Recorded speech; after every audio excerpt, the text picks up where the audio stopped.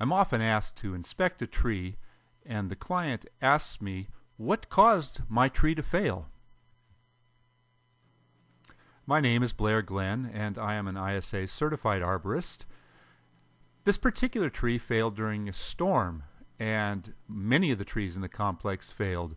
So the question was why did these trees fail when so many others did not?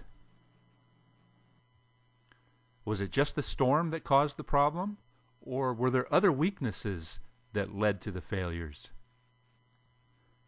One of the key things that arborists need to do is understand when a tree is weak and what may be the cause of the weakness. In this case, this tree was topped in the past. Here we have a recent topping of some redwood trees, which is really criminal in my opinion. But the long-term problems that are going to result from this, you can see there's a lot of new growth and it's going to develop multiple weak tops. Instead of having one strong straight pole, the new tops are growing off of the edges of this old cut. Sometimes a weakness is very obvious. This tree is destined to fail and I don't know why it's still standing a lot of times we have to look at the structure of a tree. In this case, we have a Modesto ash, and for all intents and purposes, this tree looks fairly balanced. But if you look at the lower center of the picture, there's a, a crotch with a very, very tight inclusion. When you have a, a situation where two branches grow too tight together, they actually end up pushing each other apart here's a Siberian elm that has been repeatedly pollarded over the years. It doesn't look like it's been done for three or four years, so it's become a massive big bush. Here we have some giant evergreen ash. Um, you can see what's happened here. The new resulting growth off of a topped tree usually comes out as long, straight shoots. Now, what you have to re remember is that where these trees were topped, ends up being a long-term decay pocket.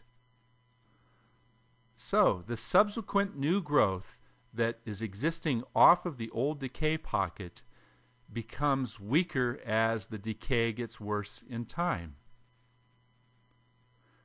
Sometimes it's difficult to identify when a tree has been topped in the past. This is a magnolia tree, and as you can see, almost all of the branches are going straight up. That's a good sign. That's a good indicator that this tree had been severely butchered a long time ago. Now, to the untrained eye, there may not appear to be a problem with this branch. But what I see is this branch was cut severely just below the, the union there, and all of these branches are new suckers that have evolved into larger branches. So they're encapsulating an area of decay. There's also way too much weight as a result of the way this has resprouted.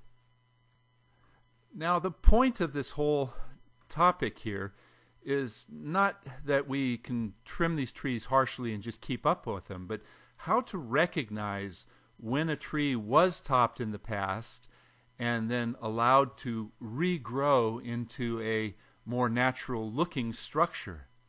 When that happens, the weaknesses of these long limbs can sometimes be ticking time bombs for a climber.